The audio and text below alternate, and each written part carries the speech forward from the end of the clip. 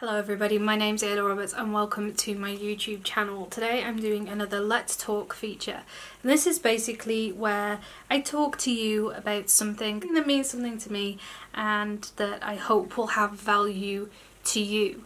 Now, today that Let's Talk is about what it's like to start on YouTube.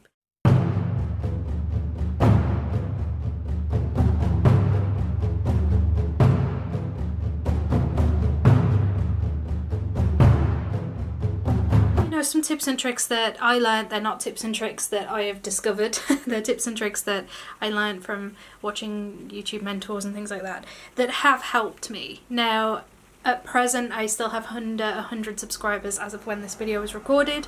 So don't get me wrong, I know some of you might be thinking, well, this is a little bit pot kettle black. You're trying to tell us how, you know, tips and tricks to grow our channel and yours isn't exactly booming that's because one of the, the things I want to talk to you about, and it's the very first thing that I want to talk to you about, is when you are doing YouTube, when you start a YouTube channel, you have to understand that what you choose to do on YouTube will determine how fast your channel will grow.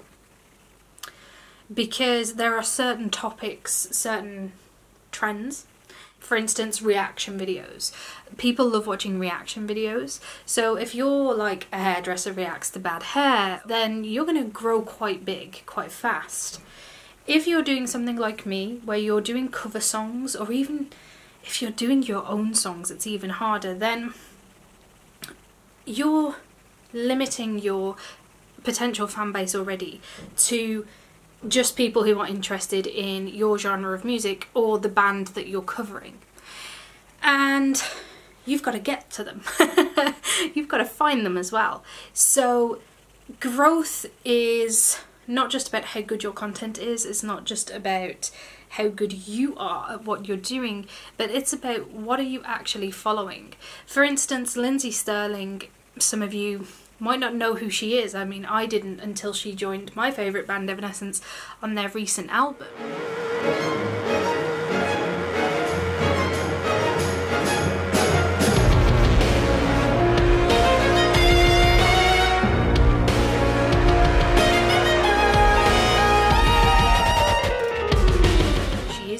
And she's a violinist and she was doing violin and you know, that was what she did on her YouTube channel, but she's a very good looking girl. She's amazing at the violin. She's a, a fantastic dancer as well. I do believe she has some ballet training.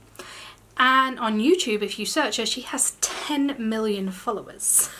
Now, Evanescence, who are a band that all of you will have heard of at some point. You might have forgotten their name, but you know the song Bring Me to Life or Wake Me Up Inside, some people call it who don't know the band. Well, that was Evanescence, and this was years ago now. That was Evanescence. Yes, you remember now the lady on the building. Yes, she falls, and it's all very sad. Um, that's Evanescence. They have been around for so many years. They have platinum records, they have record contracts, they've toured the world many, many times. And Lindsey Stirling is a, a fan of Evanescence. She's like me, she would, you know, just die if she ever got to, to meet them, let alone perform with them. And yet, Evanescence have far less subscribers on YouTube than Lindsey Stirling. A significant amount, in fact. And this is because the way the world is has changed. Um, and and the fact that Lindsey had so many followers means that she has actually come onto Evanescence's radar and she's toured with them recently in 2018 when this was recorded. She's just finished a summer tour with them two days ago actually. Which is incredible. Absolutely incredible to believe that you can go from doing what I'm doing right now to to meeting your idols and more than that getting to perform with them and on their album. But it just goes to show that the number of followers you have is not necessarily indicative of how good your content is or whether or not you are capable of making it. So although I don't have a lot of followers, maybe as many as other people who've been doing YouTube for a year, it's for a number of reasons. And yes, I want to grow and grow and grow. But at the moment, the things I'm doing are very niche And I have to accept that it's going to take me a while and I need to kind of find a wave to ride um, to help me out. So it's all about what can you do? And that has come in the form of a lot of mentors and YouTubers, particularly Adam Ivy. Um, I will put a link to his channel below. He has great advice and even sometimes I disagree with some of his advice sometimes and even though I might have disagreed with the advice in the video I still feel better after I finished watching it because he just has this way about him that is so peppy. Not peppy like yeah peppy in just this really down to earth kind of big brother way almost that just makes you feel like you can accomplish anything if you just try you know and believe in yourself. So definitely someone that I would recommend that if you're starting this journey you go and and follow and and look through some of his videos so my growth has been slow. Yeah, I'm not at 100 subscribers yet, but the reason I feel like I can give you these little tips and tricks that I've picked up from other people is because my growth up until about six months ago was non-existent. My channel, I got like one new subscriber a month, maybe. It just wasn't working. I just wasn't getting subscribers. And I was struggling and I, I wasn't sure what I was doing or or how to make it better. And I realized after watching all these videos by people that it wasn't necessarily that I needed to start doing big massive things and spending lots of money. I just needed to start being more aware of all the little parts of YouTube, uh, all the other little things, the other little details that are really important for you to keep on top of at the very least, try and be aware of your speech. Try and be aware of the fact that you're talking and that people are going to have to watch this. And if you've got a more than one point you want to make, or even if it's a really important point, if you really want people to listen and engage, you need to try and keep it short and concise and to the point. A second thing, a physical thing, and it's a small change as well, is you need to try and make sure that your picture on YouTube for your profile is the same as your picture on every other profile that you want to link to this account. So if you want people who are following you on YouTube to follow you on Instagram, to follow you on Facebook and Twitter, you need to make sure the profile picture is the same across the board. The reason for that is how many times have you typed in someone's name on Facebook and you're not sure which person that pops up is the person you're looking for. If your profile picture is the same across all accounts, then it is easy for people to find you and go, okay, there they are. Now, I have quite a unique name, but even for me, it's still something that I do. Of course, a side note here is trying to have a professional photograph. If you can try and get a photograph that looks professional, then it's just going to help. The more professional your channel looks, the more professional the way you conduct yourself looks, the more likely people are to listen to what you've got to say or watch your content or take you seriously. It's great to have fun. I love to have fun. But if you don't take yourself seriously, nobody else is going to. It doesn't have to cost you money. I know you're thinking, well, we don't have money for professional photographs. Take a look at my photographs. Go and look at my lookbooks. I do all my own photography. I do all my own editing. Up until August 2018, everything I did was recorded on a Samsung S7. All the pictures I took, all of my videos. Because that's all I had and I couldn't afford more. I bought myself a professional Diva light, but that was it.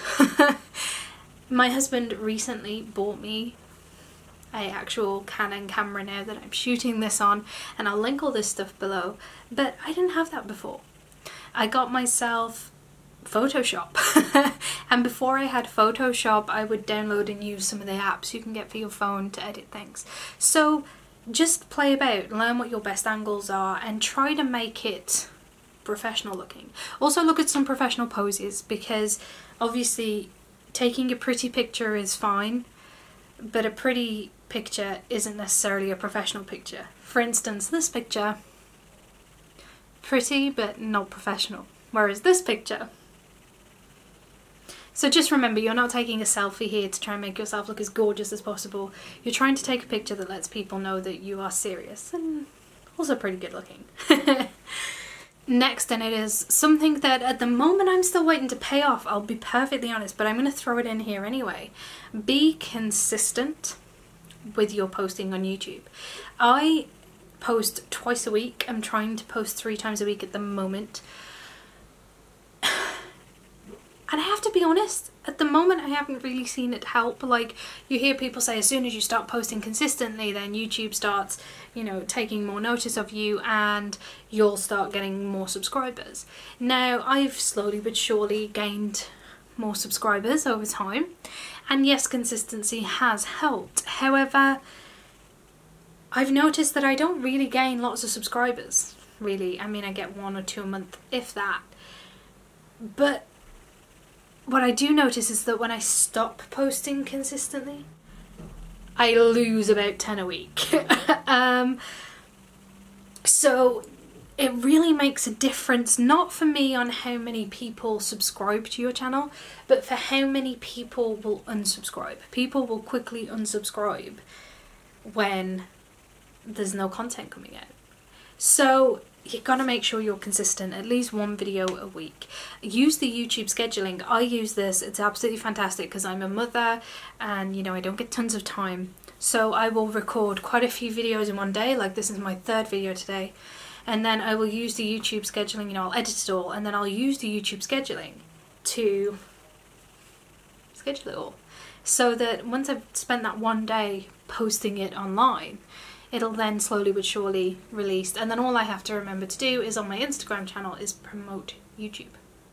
On the subject of editing, if you're struggling to find an editing software for you, I use DaVinci Resolve public beta 15 at this point and it's free. You can buy a pro version, it's obviously got more tools, but there's still special effects and all sorts you can do. All of the videos, I will card one here, that I have done up to now at least, have been on this free DaVinci Resolve. It was 14 mostly actually, because we've only just swapped to 15.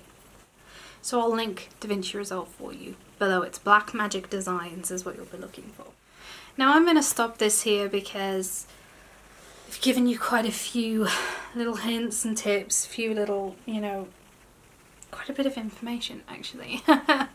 and to be honest, I could go on forever. There's so much you could say. There's so much that you could, you know, try and trying to help someone with. But the truth of the fact is, is that you've got to just.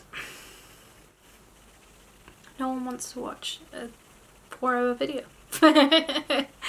so, I hope that the things that I've said to you have been useful. I hope that you find some value in this and that it helps you in some way or another, don't forget to check out those links that you know I've got for you and don't give up. Don't let your mind dictate to you what you can and can't do. Don't sit there and think I don't have fancy equipment and I don't have fancy recording studio and I don't have all just do it. I did. I just did it. I mean, I'll card the first video I ever uploaded just here, you know. It's nothing. It's is nothing, but you have to start somewhere. I've been doing this a year. I still have less than 100 subscribers and it's demoralizing. I'm not gonna lie, it's demoralizing at times, but I also wouldn't change it for the world. The 86 people that follow me are 86 true fans, true supporters of what I do, who really enjoy what I do and yeah, I wish for more, but I'm just grateful to have what I have. And you know what? Tomorrow I might have 87.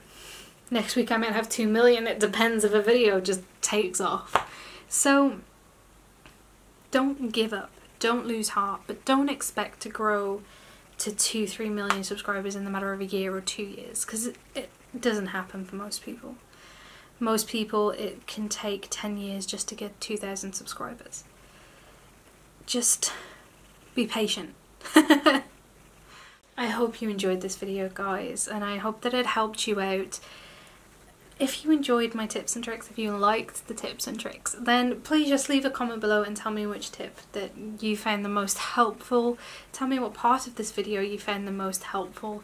And, you know, if you use one of these tips and tricks and they work, please tell me which one you used and how well it worked for you.